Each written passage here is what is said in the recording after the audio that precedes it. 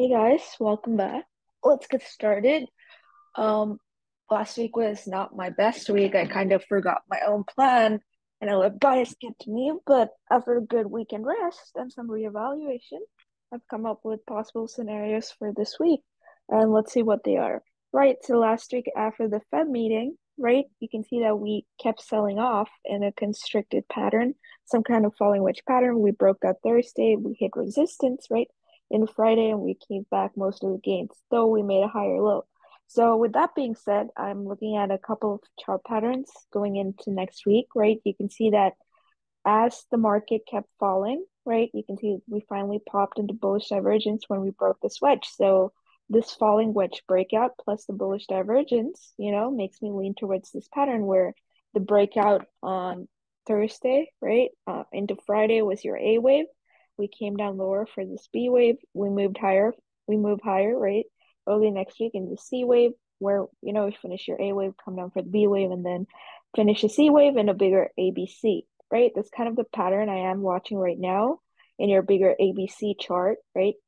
Where after this C wave comes down, I'm looking for a bigger, right? A bigger wave into 4,500 ish to finish off this B wave before a leg down into the C wave with that being said, I am looking at a few other versions, right? So initially I showed you this ABC pattern, right, which comes down. I'm also, you know, of the opinion that if we do, you know, if we do get rejected back at 4020, again, I'm looking for one more leg to the downside.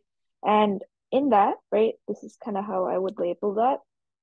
All right, let me go to the lower time frame, right, on the 30 minute chart. This entire move Hold on. I think you can see it on the 15 minute. Yeah. So this entire move down was my wave one. This is my wave two, right? This was my, again, this is my wave three. We, again, like I said, if we reject 4020 hard, my wave four, and we come down lower for the wave five. So it's kind of what I'm watching, right? If we do reject that one, two, three, four, five, this fifth leg down would be the ending fifth wave in an ABC.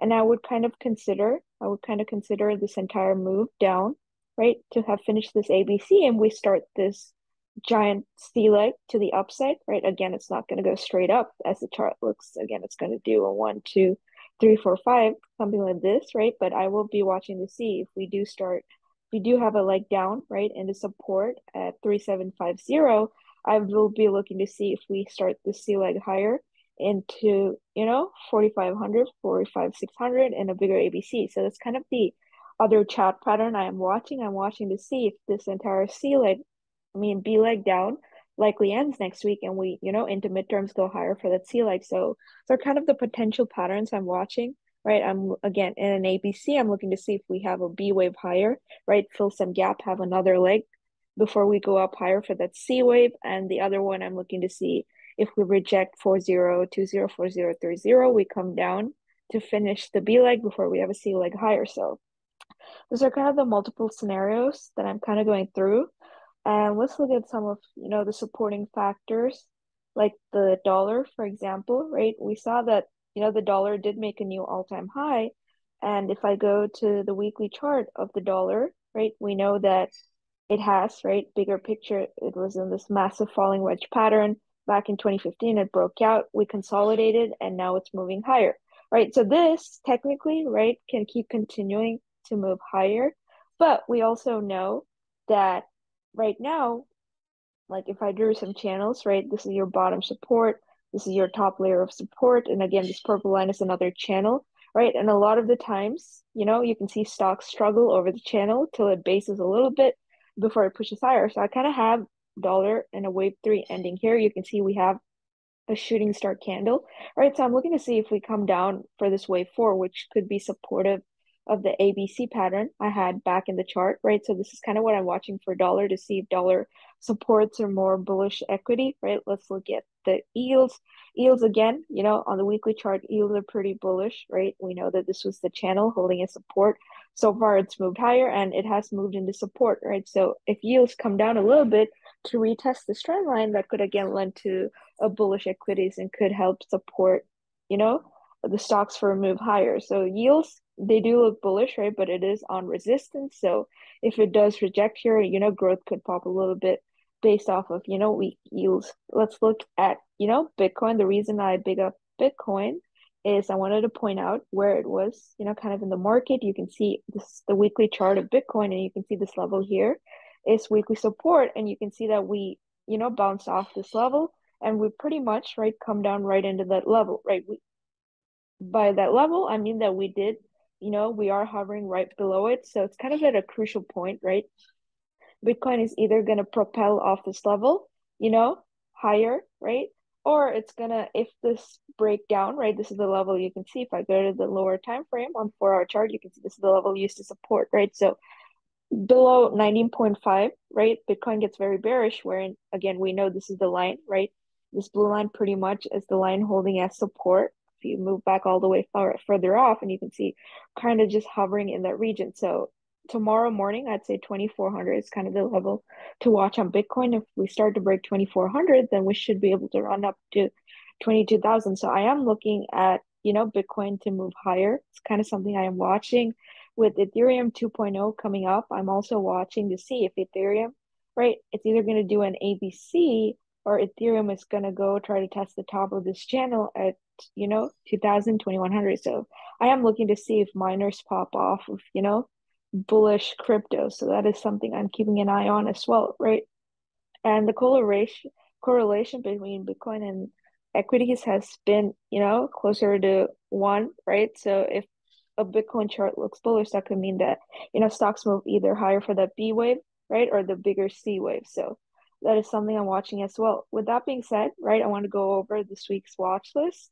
I have, you know, made it even between calls and puts, right? The first one I do have is Mara because I told you guys that I am watching to see if Bitcoin pops higher, right? And I think Mara would be a great candidate. You can see we're just kind of basing sideways. It made a low on 29th of August and that low has held, right? Through this entire mar- market, you know, sell off or whatever. You can see we're kind of going sideways. So that does look pretty bullish. That's why I have Mara calls over, you know, 12 bucks. If we break 12 bucks, then I think we should be able to hold, hold, whole, you know, run up to 14.2, which is like a 20% move. So that's the reason I have Mara on here. If cryptos do pop, I think Mara would make a great candidate for a push to the upside. So the next one I have is FSLR. The reason for that is kind of interesting, right? Because on the monthly chart of FSLR, you can see this is a line used to support and this is a line used as resistance. And you can see we pretty much, right, every time we hit the top of that, we have sold off. So again, FSLR is at a pretty interesting level, right? We last week we popped right into resistance. So if this line like holds like it did in the past, it could lead to a pretty nice sell-off. So that's the reason I have FSLR puts on this week's watch list, right? And again, wait for this, right? Wait for this to break 123. Like you can see this kind of in a rising wedge, right? So it could, you know, just hold a little tighter in this wedge before it breaks down. So it is like you can either wait for it to break 123 or you can wait for it to chop a little bit more, right? As long as the support holds, it can still try to make a new high, right? And when it makes a new high, you can kind of buy puts on it. But yeah, the better option would be for wait for it to, you know, break this rising wedge channel and then it, it could have a nice fall to the downside against monthly resistance. So that's the reason I have FSLR puts on this week's watch list. Again, another stock that's weak because you know Europe is kind of kind of sorting out its gas issues, but not really. But you can see this this is the uptrend for natural gas, right? You can see that we've broken the uptrend. This is the line of resistance. So I think as long as it holds below, right, I think gas, natural gas could sell off down to 26. So that's the reason I have natural gas puts on here is I could see a case for it to come retest 26, right, at minimum before it either moves up or down. And I think some bit of relief is coming into the electricity and gas for Europe. So the next one I have is mRNA. And again, the weekly, you can see we had a pretty strong week. Not a pretty strong week. I mean, it had kind of a doji sort of like a reversal candle at the bottom for mRNA, right? You can see that it had a nice move on September 1st. We've just kind of gone sideways, right? So I think if we open above 140, 141, it could have a nice run up, right, into 151, 155. So that's the reason I have mRNA on here. Like, I it's either gonna do right. It's either gonna pop for this B wave before it comes down, or it's gonna start the C wave. So either way, I think mRNA could present opportunities next week. And the next one I have is Amazon. So this would kind of be pretty standard for most of the FANG stocks. And I chose Amazon because, again, we know this earnings gap, right? We came down, we filled this earnings gap, and now we popped, right? So as long as it holds this level at 126.52, right? I think Amazon could go up to retest 133 to 135. So that's the reason I have Amazon called on here, right? If the market index does follow through, I think Amazon could be a nice play. And the next one I have is Ulta. So I have covered Ulta, right? We had calls before earnings that played out. And again, you can see we are again on resistance, right? We are on a weekly level of resistance. You can see we've kind of just been chopping sideways. The better entry again would be a break of 375, but on a 30 minute chart, Ulta does, you know, look choppy. It does look weak as long as it stays below 430. I think it could start heading down. But again, it is a low volume, choppy stock, right? So trade this with caution, but Ulta does, you know, present a lot of cases for it to, you know, continue selling off lower. And it does have an inside week, right? So it could make a big move next week up or down, right? Up upside if it can get over and stay over 126, it can get a 448, right? And if it follows through to the downside, it could come down to 380. So that's the reason I have Ulta on this week's watch list. And yeah, thank you so much and have a great week.